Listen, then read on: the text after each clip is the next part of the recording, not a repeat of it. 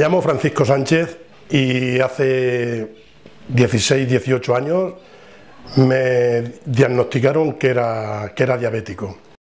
En un principio, pues la verdad, pues lo pasas un poco mal, porque el hecho de decir, no sé, diabético, es, para mí esa palabra era muy, muy grande. Hasta que poco a poco, bueno, pues gracias a la doctora y gracias al equipo sanitario que había en ese momento, pues me fueron, me fueron introduciendo dentro de, lo que es esta enfermedad hasta poder calmarme, por decirlo de alguna manera. Yo he sido camionero profesional, hacía transportes internacionales y en un principio, bueno, lo que era el tipo de la pastilla lo llevaba bastante bien. Pero luego ya cuando empiezas a ponerte insulina, te cambia mucho porque tu trabajo lo tienes que pensar.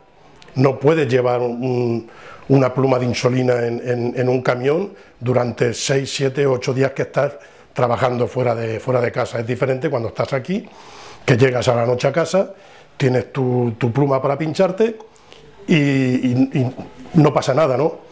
Pero tener que llevarla tantos días dentro de una gabina, la verdad que no es, no es aconsejable.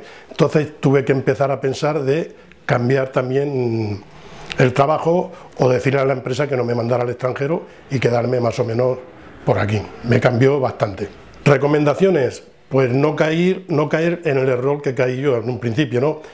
Déjate aconsejar por tu equipo sanitario, por tus doctores o doctoras, eh, sigue bien esos consejos, que a la larga te darás cuenta que, tienen mucha razón. Mm, búscate la forma de investigar lo que es la, propia enfermedad, te ayuda mucho. Hablar con personas que tienen esa, esa misma enfermedad como, como nosotros, no somos nosotros solos, de hecho somos mucha gente los que somos diabéticos y con el tiempo te vas dando cuenta.